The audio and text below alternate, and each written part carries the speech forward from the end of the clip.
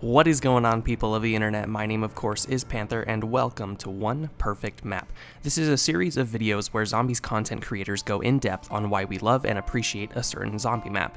There will be a link in the description with a playlist to all the other videos in this series. I'm glad to be a part of it, and let's just jump right into it. You've seen from the title, but I'm going to be going in depth on the map Revelations. This is a truly underrated gem, in my opinion, and is one of the most fun and entertaining zombie maps of all time.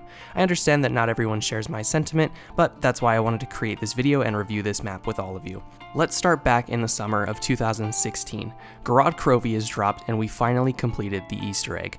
We're watching the end cutscene with the highest level of emotion I have seen from zombies to this point. Hearing the pain Primus Nikolai felt speaking with Ultimus Nikolai, just painful. The cutscene ends with our characters' souls being sent off, and we hear the rumblings of something on a black screen. Then the word, Revelations. I could not have been more excited. Let's actually throw it back to my reaction to seeing that pop up.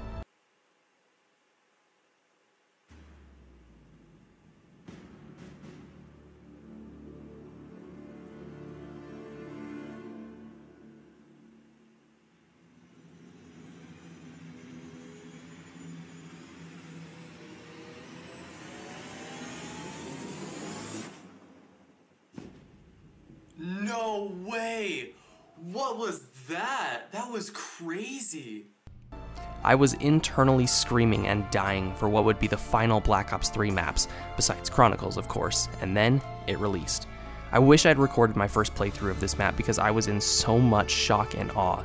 The idea of having most of the previous maps colliding together was such a great idea. I would love to say that I had thought of this idea prior and that I had some kind of power to predict the future, but I didn't. This was such a simple idea, but executed very well. While some state that this map is unoriginal as it draws from things in past games, I would argue that this is far from the truth. Yes, there are really only two new areas to play in, Spawn and the giant gummy worm's stomach, but every other location is a twisted version of a previous map. The wonder weapons are just the Apothicon's Servant and the Thundergun, and the specialist is the Ragnaroks from Der But a map is much more than its areas and weapons. They make up a good part of it, but that's not all that you should be looking at. Let's first talk about the layout. There are four different islands on this map. You have the spawn island, and that branches off in two directions. If you go to the right, you'll head to a combination of Shangri-La, Der and Kino der Toten. The mixing of the Shangri-La starting room going up the stairs to what would be the Pack-a-Punch area, but actually breaking into the Undercroft of Der was beautiful. We even have the anti-gravity back, and by completing an obstacle course, you can earn yourself a free perk. Going past Der we finally break into the projection area of Kino. We are finally able to run along the top row of seats, which is something that we've never been able to do. Kino is flooded with water and the stage looks a little bit different, but still brings the feelings of nostalgia. Finally, if you run to the other side of the seats at Kino, there is a jump pad which takes you to the next island. You take a trip to Verrückt, and it's almost the entire map of Verrückt, which is incredible. The upper level is a mixture of Verrückt and some lab equipment reminiscent of Zetsubou no Shima. The upper level is a bit more open, so we can access areas that we weren't able to previously. And then the ground level is Verrückt. But instead of the fountain, we have the corruption engine. More to come on that and this island is where most people take advantage of high round strategies. The fastest spawns are here in Verrückt. I'm sure you've all seen the strategy, sitting in a corner with the Apothicon servant just blasting it while zombies spawn in. It's a very simple process. Moving on, if you take the other jump pad on this side of the island, you are sent to the next island, and the next island consists of just pure beauty and nostalgia. By taking the Verrückt jump pad, you get sent to the cafeteria in Mob of the Dead one of the most classic training areas of all time. Just an excellent area to be in, and you get so much excitement from being there. But not only do you have the cafeteria, but you can also find a bigger area outside where you can find cells and a room with dead bodies. From here, you have two ways to move on to the next area. You have a door that opens directly into Origins, or you can run through a buried tunnel bringing you to the top of the excavation site at Origins. That's right, by running through a tunnel from Buried, you reach the Pack-a-Punch location on Origins. The entirety of Gen 3 and the trenches are brought back. This is just incredible. Not only are you at Origins, but they brought back the flogger for this area from Shi No Numa. Running through the trenches will take you to the final jump pad, taking you back to spawn. The layout is amazing. Each island has a corruption engine, which, after being powered on, will provide power to that island similar to Origins. Then, they can also be used as a turret to mow down zombies. Then, a portal is opened, and that portal takes you to none other than the entirety of Nacht der Untoten, with some minor changes. Here you have Juggernog and the only buildable bench. Noting the only buildables on this map are the Dragon Shield returning from Gorod Krovi and the Keeper Protector, which is just an amazing sidekick. The Dragon Shield, well, you all know how that works, just a regular shield with a fiery dragon blast. And the Keeper Protector will summon a good Keeper, and this Keeper will lay waste to the zombies and other enemies. This Keeper will also follow you around and is a part of the Easter egg. Moving back into Nacht, by powering all of the engines, you can trap the giant gummy worm and fly into his stomach, which is where you access Pack-a-Punch on this map. It also has four vents inside that you can go out and it takes you to each island respectively. What is a small detail but drives so much of this map for me is the sound design and music changes depending on what map or area you're in. The second you approach Mob of the Dead, you hear the eerie music from the original map, and it's amazing. Going to Nacht, you have the original round change music. It's just a very nice touch. The three islands besides Spawn all have parts for the Shield and Keeper Protector. They also have areas to release the Keeper Protector so you're never too far away from help. The skybox is just absolutely beautiful and stunning to look at. You can't look at Revelations and tell me the map is not beautiful. The lighting, the colors, the Pack-a-Punch camos, everything is just so beautiful. Moving on to the actual features of the map, we've already talked about a few, the Dragon Shield, Keeper Protector, and the Flogger, but there is so much more. Of course, we have the main wonder weapons, the Thunder Gun, which we hadn't seen since Black Ops 1, and the Apothicon Servant, but now with an actual upgrade process. No longer were we teased with the upgrades of this in Shadows, we finally have an actual upgrade. Then of course the Ragnaroks from Eisendrache and Little Arnie's rather than monkeys, and these even also have an upgrade process. The good news, all of these are in the box. If you don't want to go on a quest to get the wonder weapons and specialists, you just spin the box for it and it's there. You can't upgrade the Apothicon Servant without a small quest, but it's pretty easy. You just blast some space rocks and throw it in the Pack-a-Punch machine. Then we have all of the hats. Owl's hat, the Wolf hat, the Viking hat, Keeper hat, Margwa hat, Fury hat, the Knight's hat, and the God Mask.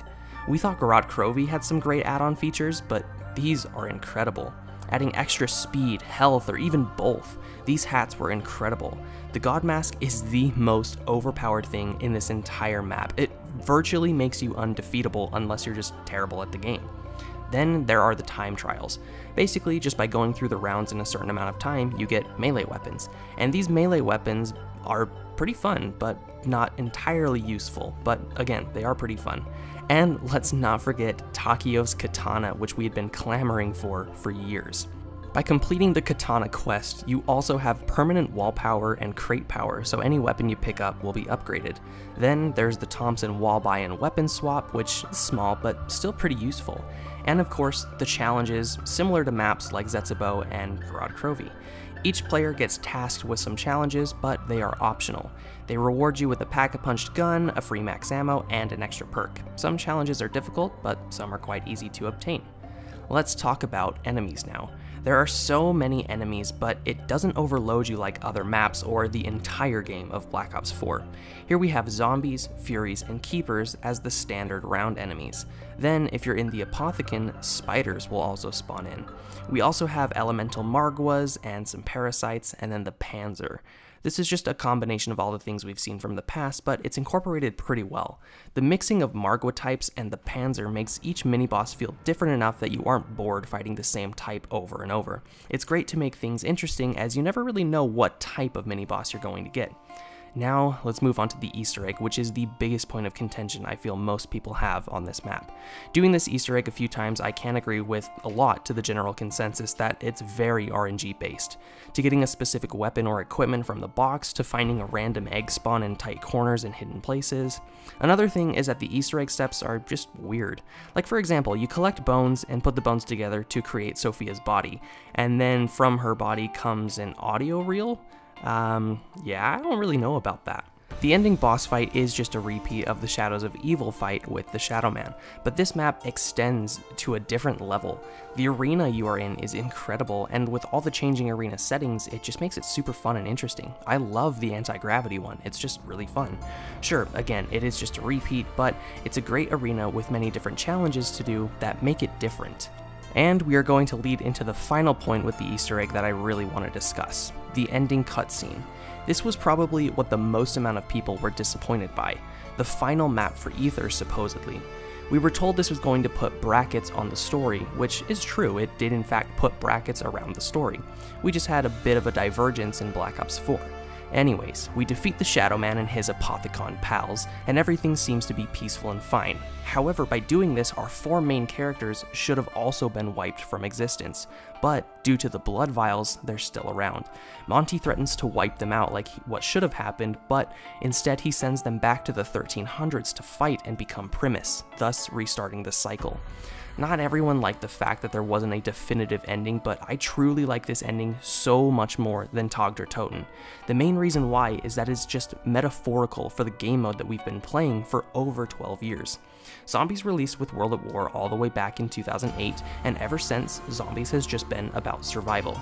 It's a simple horde mode that has grown over many years, but ultimately, you just go up in wave after wave, killing zombies only for it to just never end. Most maps don't have a way to end them other than dying. So again, you go wave after wave of killing the undead, only for you to be killed and starting back over at round 1. It's a cycle. The actual gameplay loop itself is a cycle. You go for as long as you can until you die, and then you just start back over. Just like the Revelations ending cutscene, the entire story was a cycle that was never broken. It was a perfect metaphor, and I thought it was an ending that was just perfect. Again, some people wanted a finale that was dramatic and huge with a definitive ending, but me? I loved the idea of the game mode we have been playing for years. The story we have grown to love is just an endless cycle in both story and gameplay. So, there you have it. While the community seems to share the opinion that Revelations is just average, I argue that it's much better than its reputation. Thank you for stopping by my channel. Please subscribe for more content like this. Very excited for Cold War Zombies to be dropping next week. I will be playing that so much. Again, to see the other creators take their dabble on a specific map, there will be a link in the description for a playlist of all of these videos. Thank you so much to the community, and thank you all so much for watching. My name, of course, has been Panther, and I will see you in the next one. Take care. Me like a Hellcat.